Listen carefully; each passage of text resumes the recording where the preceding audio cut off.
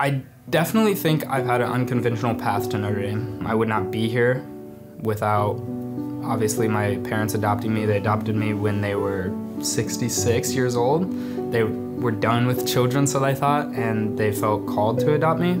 I think the odds were stacked against me, but once again, I think God has had his hand on my life from day one, and I think it was part of his plan. My fight really is my family didn't have the best background before my adoptive parents, and so I don't want my kids to have to go through some of the stuff. And so yeah, it's now just about trying to provide better for my kids and it's just it's just part of the story. When I'm running, I just try to think of all the supporters I have behind me and when it gets hard because it does sometimes like you can get burnout, you can get tired.